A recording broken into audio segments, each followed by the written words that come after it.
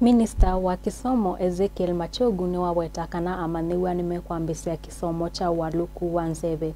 Vala methiwa maivundisyo maundu ma withiũlũlũko ndaweta kwa oyu uvandi wa miti nukwithiwa ndu twaiswa nthini wa skulu kauta vala wa kulya alimu makwate mbau amanyiwa ikenda methiwa maivanda miti nthini wa skulu syoo By fostering a comprehensive understanding of climate change, the ministry aims to inspire students to take informed action and be advo- advocates for climate justice.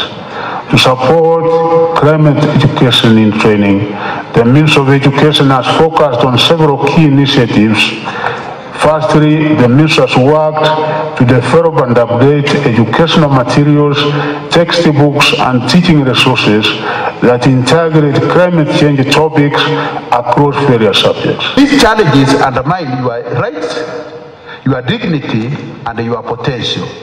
But you are not only the, the only victims. You are the agents of change, the catalyst of innovation, the champions of hope.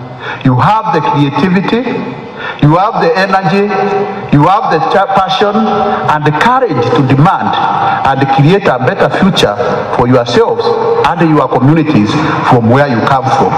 presents all we can. No matter how small it is, collectively,